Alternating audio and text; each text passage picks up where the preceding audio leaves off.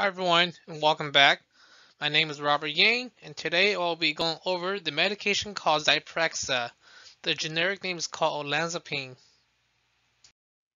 The first part I will be going over the patient education. Before going over what the medication is, let's look at what the medication treats.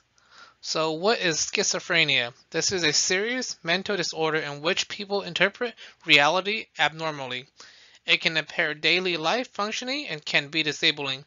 It requires lifelong treatment. Symptoms include hallucination, delusions, and disordered thinking and behaviors. The causes are unknown but believed to be a combination of both genetics, brain chemistry, and environment.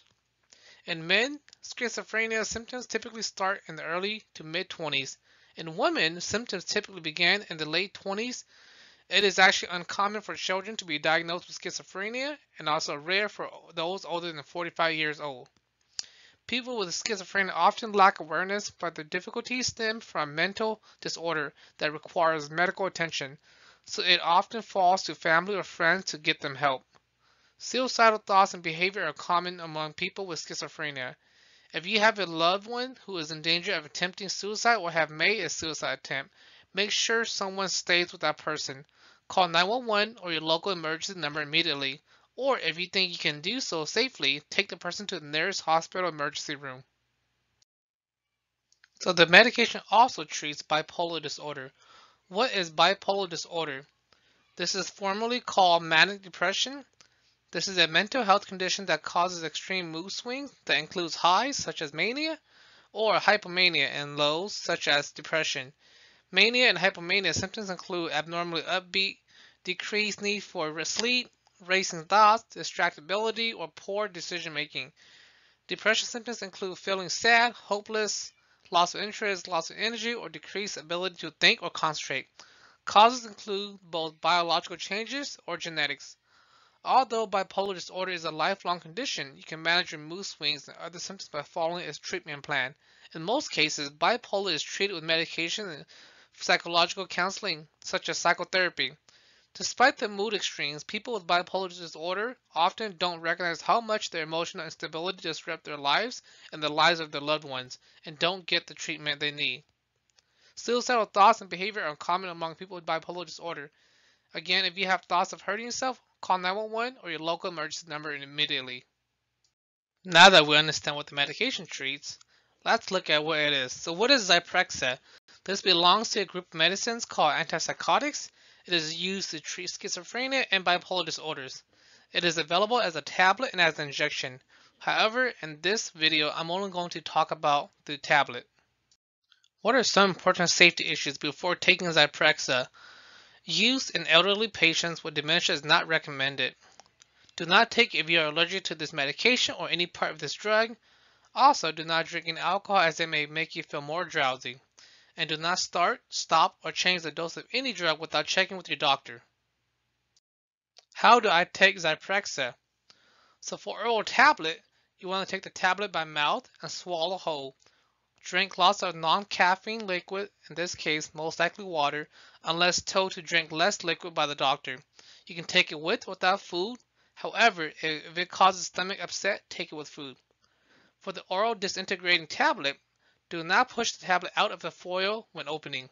Use a dry hands to take it out of the foil and then you want to place it under your tongue and let it dissolve. Water is not needed in this case. Do not swallow a whole, chew, break, or crush it. What are some important safety issues while taking Zyprexa? You want to tell your healthcare providers that you take this drug. Avoid driving and doing other tasks that require alert. You want to check your blood sugar, blood cholesterol, and weight gain regularly as it can increase these. And to lower the chance of feeling dizzy or passing out, rise slowly if you have been sitting down or lying down for a while. What can you expect from taking Zyprexa? So some common side effects include feeling dizzy, sleepy, tired, or weak, shakiness, dry mouth, constipation, and even weight gain. And then for the adverse side effects, you may experience rash, hives, trouble breathing, fast or slow heartbeats, seizure, chest pain, even trouble controlling body movements. What happens if you miss a dose?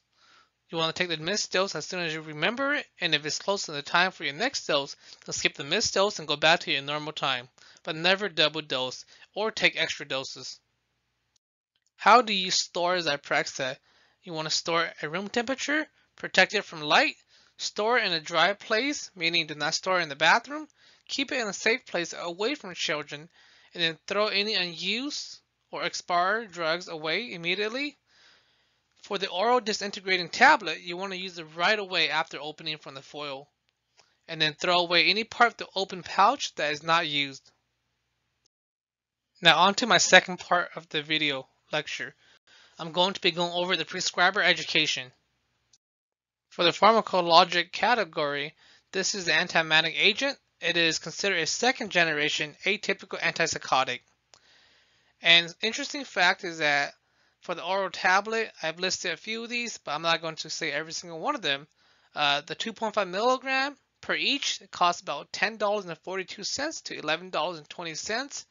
Um, and then the 10 milligram, it costs about $18 to 53 cents to $19.92. In comparison to the oral disintegrating tablet, the 10 milligram actually costs $3.05 to $20.97. The recommended dosing adult for schizophrenia, the initial is 5 milligram once daily. You can increase it to 10 milligram once daily within several days, or you can just do 10 milligram once daily. You may increase the dose based on the response in increments of 5 milligram per day at intervals greater than or equal to one week and up to 20 milligram per day. Max of 20 milligram per day. However, further increase to 30 milligrams per day may be necessary uh, for some patients for optimal response. However, these are actually associated with increased adverse effects and are generally not recommended. In comparison, the recommended dosing in adults for bipolar disorder, acute mania, and acute hypomania, the initial is 10 to 15 mg by mouth once daily, may increase dose based on response and tolerability in 5 mg increments at intervals greater than or equal to one day and up to 20 mg per day.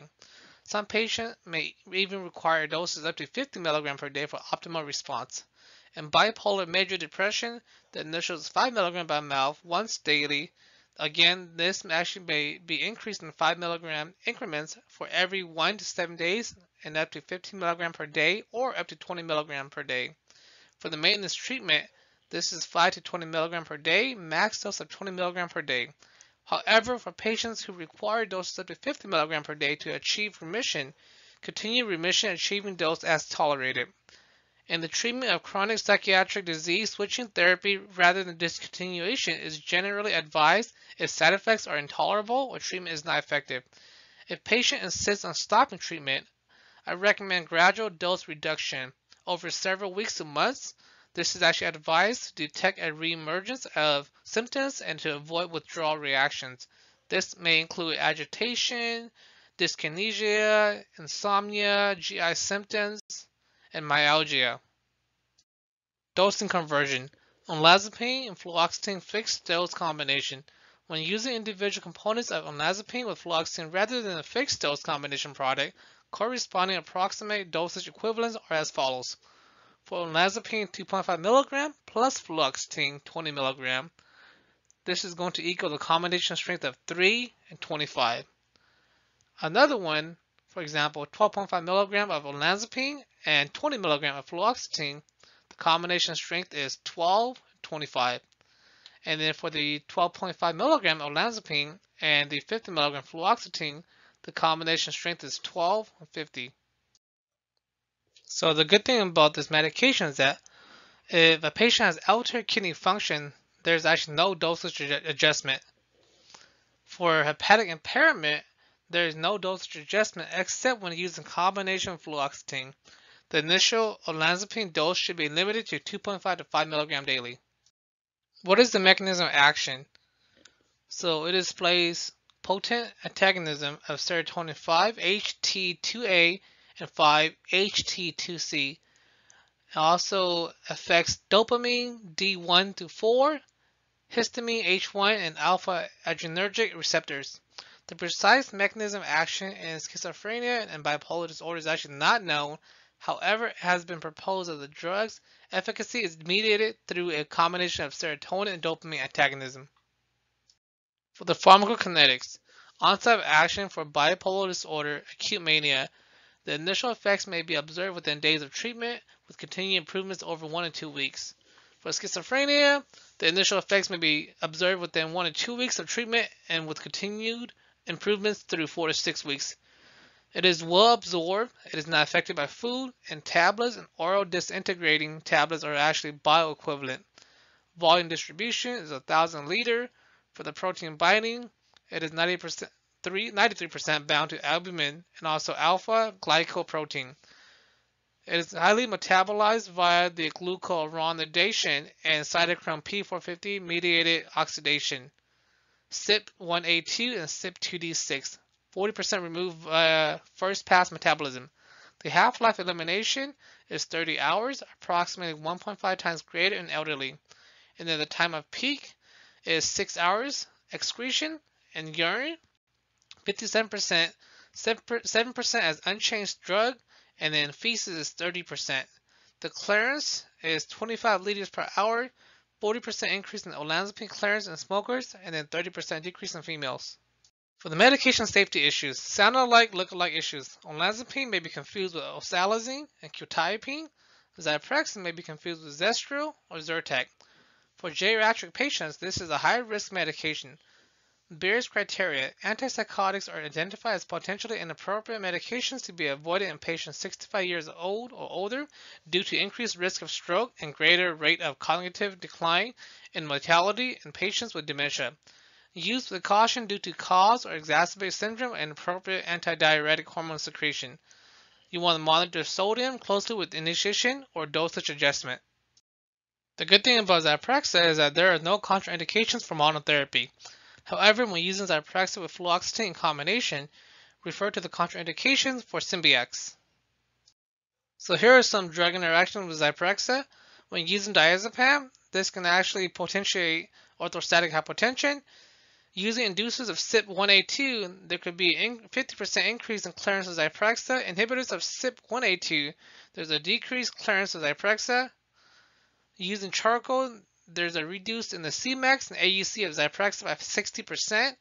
And then central nervous system acting drugs. Caution should be used when Zyprexa is taken in combination with other centrally acting drugs and alcohol. And then the last one here is antihypertensive agents may enhance hypotension. Here's my references to today's video.